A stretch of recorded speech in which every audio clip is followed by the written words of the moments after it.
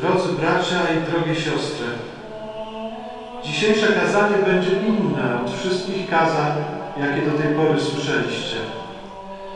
Kilka tygodni temu zostałem zainspirowany słowami z Ewangelii o tym, że poznacie prawdę i prawda was wyzwoli. I zagłębiłem się w tę prawdę. Poznałem ją.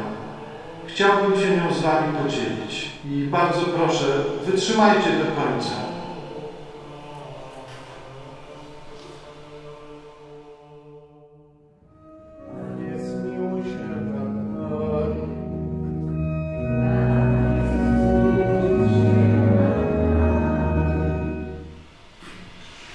Rozpocznijmy od Pisma Świętego. To jest mi egzemplarz Biblii, który czytałem tak często i gorliwie, że aż rozleciała się jego układka. Tylko co z tego? Zrozumiałem, że nie potrafimy wskazać autorów wielu z tych ksiąg. Nie wiemy ani kto je napisał, ani kiedy.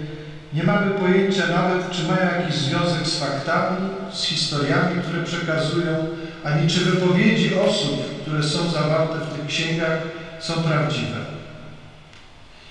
Pismo Święte, tak o nim mówimy, albo mówimy także Słowo Boże, ale nazywanie tego zbioru ksiąg w ten sposób nie ma żadnego sensu.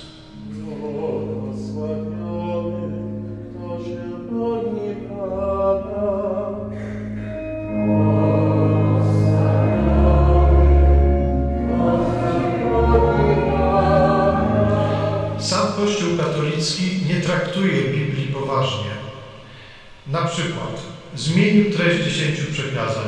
Jedno z nich wyrzucił, y, treść innych pozmieniał, przestawił ich kolejność. Dziesięć przykazań Bożych, jak uczy Kościół, zostało zmienionych. I jak traktować poważnie taką instytucję?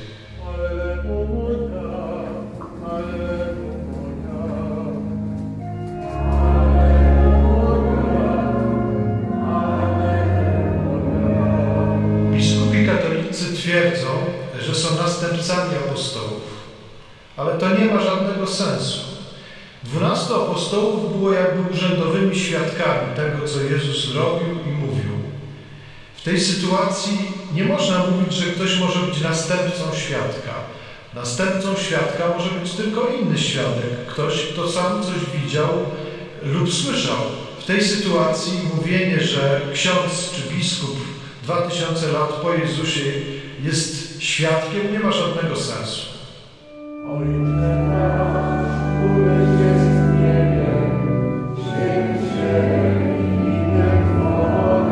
Kościół katolicki opowiada, że papieże są następcami świętego Piotra.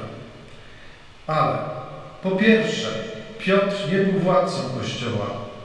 Nie był prawdopodobnie najważniejszą osobą, bo bał się na przykład apostoła Jakuba, który prawdopodobnie był od niego istotniejszą postacią w Kościele. Po drugie, nie wiadomo, czy Piotr kiedykolwiek był w Rzymie, więc nie można mówić o tym, że Kościół w Rzymie jest Kościołem świętego Piotra. W tej sytuacji pretensje papieży do kierowania Kościołem nie mają żadnego sensu. Papieże co najwyżej są następcami cesarzy rzymskich z ich chęcią panowania nad całym światem. Żyją w wierni jednej miłości przez Chrystusa Pana naszego. Katolicy są nakłaniani przez księży do spowiadania się. Uzależnia się od tego odpuszczenie grzechów. Ale spowiedź nie, nie ma nic wspólnego z Chrystusem, nie ma nic wspólnego z Ewangelią. To jest wymysł Kościoła.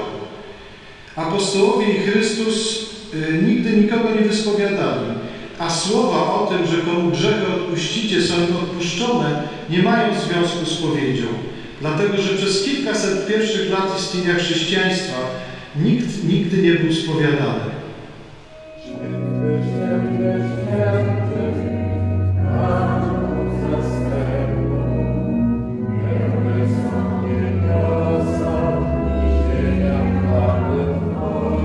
Kościół dyskryminuje i poniża kobiety od zawsze.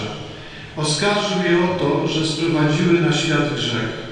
A teraz doszło do tego, że próbuje przymusić je przez prawo do rodzenia uszkodzonych płodów. A tymczasem nawet wybitni teologowie katolicy twierdzili, że płód Bóg staje się człowiekiem w kilka tygodni po tym, kiedy dochodzi do zapłodnienia. Oto baranek Boży, który gładzi grzechy świata, błogosławieni, którzy zostali wezwani na Jego ucztę. Panie, nie jestem godzien, abyś przyszedł do mnie. Na koniec, drogie siostry i drodzy bracia, chciałbym Was bardzo przeprosić za to, że wziąłem udział w tym kościelnym oszustwie.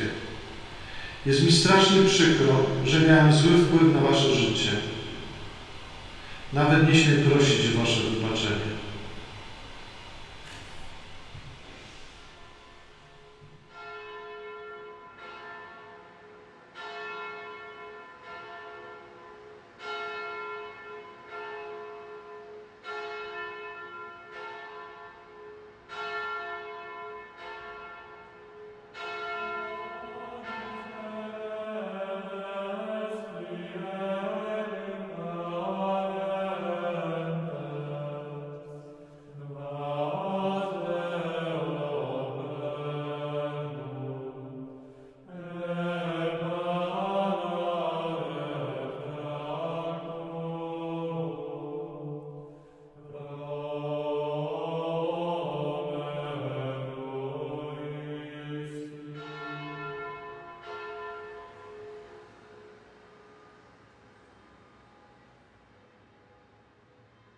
To, co widzieliście, to było oczywiście przedstawienie, ale każde z, ze stwierdzeń, które usłyszeliście, jest prawdziwe.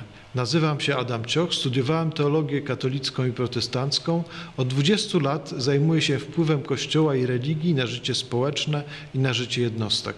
Ukazała się właśnie książka mojego autorstwa pod tytułem Epidemia manipulacji, czyli o tym, jak chronić siebie i bliskich przed religijnymi manipulantami.